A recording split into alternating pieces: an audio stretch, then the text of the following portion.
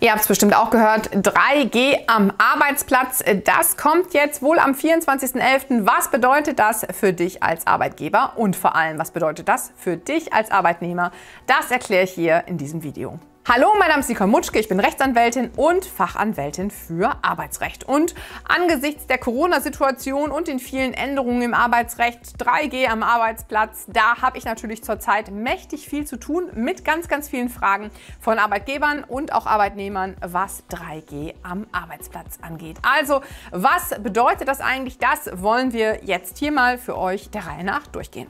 Ja, 3G am Arbeitsplatz, wie ihr sicher alle schon wisst, heißt, am Arbeitsplatz ist zukünftig jeder geimpft, genesen oder getestet. Das hatten wir in einigen Bereichen in der Vergangenheit schon und das wird jetzt auch am Arbeitsplatz so sein. Also sprich, wer zur Arbeit möchte und muss, zur Arbeitsstätte in den Betrieb, der muss zukünftig geimpft, genesen oder getestet sein. So widersprüchlich das ist, ihr müsst immer noch nicht euren Impfstatus sagen, aber ihr müsst entweder den genesenen Nachweis, den getesteten oder ja, den geimpften Nachweis erbringen. Also so ein bisschen Widersprüchlich ist das natürlich. Das heißt, der Chef, der kann sich natürlich schon Gedanken machen, dass wenn ihr den Nachweis des Geimpftseins vorlegt, wie euer Impfstatus wohl ist, aber offiziell nachfragen darf er nicht. Also wer geimpft ist und sagt, ich möchte es aber nicht sagen, der kann auch sich, wie alle anderen, immer sozusagen testen bzw. muss den Testnachweis vorlegen. Ansonsten für Geimpfte einmal der Geimpftnachweis, für Genesene,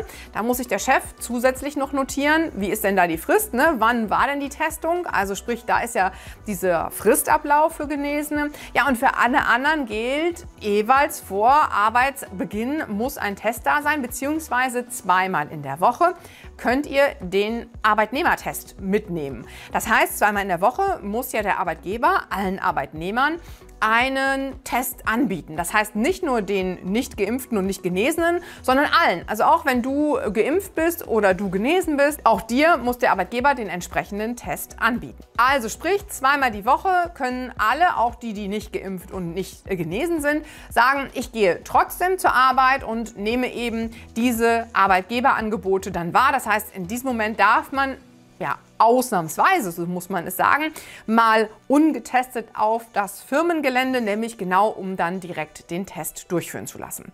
Der Test PCR-Test ist möglich, 48 Stunden oder Schnelltest kennen wir alle, 24 Stunden könnt ihr natürlich auch im Rahmen der Bürgertestung wahrnehmen. Also sprich, man kann sich so ein bisschen das zusammenpuzzeln. Also zweimal vom Arbeitgeber, dann der Bürgertest. Aber wenn ihr fünf Tage die Woche im Betrieb seid, hm, dann ist immer kritisch, ob das mit den Zeiten so passt. Ne? 48 Stunden PCR-Test dann 24 Stunden Schnelltest. Es kann also sein, dass ihr durchaus den einen oder anderen Test selber zahlen müsst.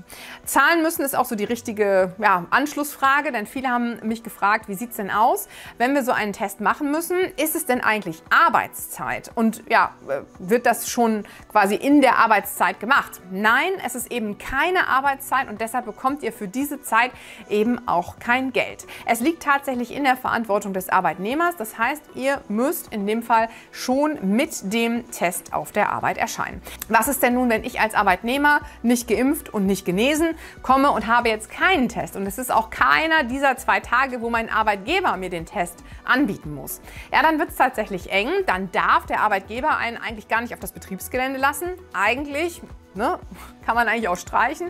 Der darf einen nicht aufs Betriebsgelände lassen, sonst wird er sich eben bußgeldpflichtig machen. Also sprich, man muss wohl unverrichteter Dinge wieder nach Hause ziehen und das bedeutet, man bekommt auch tatsächlich kein Geld.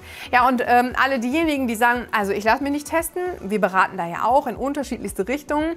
Bei denen muss man sagen, wenn das ja lange so ein bisschen unklar war, was sind denn dann die Konsequenzen? Ist es dann überhaupt so, dass der Arbeitgeber Konsequenzen verhängen darf oder kommt nicht wieder das Ordnungsamt?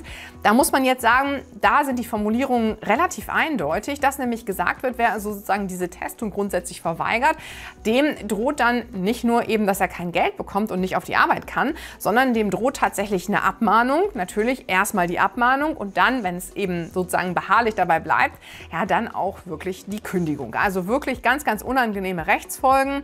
Und da Arbeitgeber und Arbeitnehmer also beide mit einem Bußgeld bedroht sind, 25.000 Euro, da ist natürlich schon relativ klar, dass Arbeitgeber das wahrscheinlich ziemlich gut kontrollieren und dass es dann relativ schnell dazu kommt, dass man als ungeimpfter, ungenesener und ungetesteter kein Geld sondern stattdessen eine Abmahnung und eine Kündigung bekommt. Also muss man sich das wirklich gut überlegen. Das Ganze gilt natürlich für den Betrieb, da wo man eben ja, körperliche Kontakte dann hat. Also physische Kontakte. Das heißt jetzt nicht, dass ihr wirklich Körperkontakt haben müsst, aber eben, wo ihr Kollegen treffen könnt und ähnliches und da allein die Möglichkeit ausreicht, da gilt das Ganze. Wer natürlich im Homeoffice ist, ja, der hat's gut, der ist da sozusagen raus aus der Nummer, denn zu Hause gilt das natürlich nicht.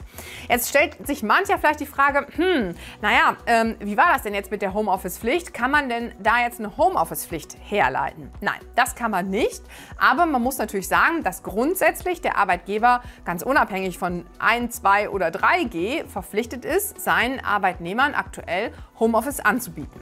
Klar, dazu muss Homeoffice möglich sein. Also wer am Fließband arbeitet oder an der Kasse, ja, dem wird man kaum Homeoffice anbieten können. Aber gerade wenn man im Büro arbeitet, dann heißt es so, dass man nur dann als Arbeitgeber das Ganze nicht anbieten muss, wenn zwingende betriebliche Gründe vorliegen. Also zwingend ist schon echt eine Hürde. Da muss schon echt was vorliegen, damit man als Arbeitgeber ja das quasi ablehnen kann. Bei Büroarbeit wird da zum Beispiel genannt, dass man dann den Posteingang oder sowas macht im Betrieb. Ja, und logischerweise Weise, die Post kommt im Betrieb an, da kann man das eben nicht von zu Hause machen. Aber da ist sozusagen für den Arbeitgeber eine sehr, sehr hohe Hürde. Also sprich, für alle, die sagen, Mensch, äh, das möchte ich mir ersparen, die sollten eben gucken, dass sie vielleicht doch mit ihrem Arbeitgeber über Homeoffice reden.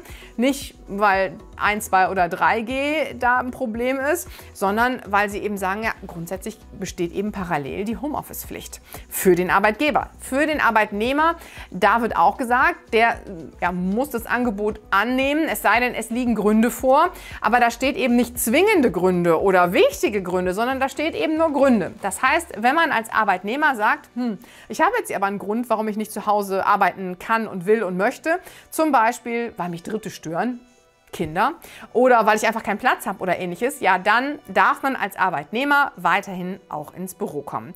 Ja, und das Ganze, ja, wisst ihr alle, wird jetzt wohl ab 24. also ab übermorgen dann gelten. Wenn sich Änderungen ergeben, wir halten euch natürlich auf dem Laufenden. Diskutiert wird ja gerade sogar eine weitergehende Impfpflicht für bestimmte Berufe oder allgemein. Ich halte das alles noch für Spekulation, aber sobald sich was Neues tut, gerade vielleicht bei Berufen, die dann vielleicht geimpft werden müssen, da kriegt ihr natürlich sofort von uns ein Video.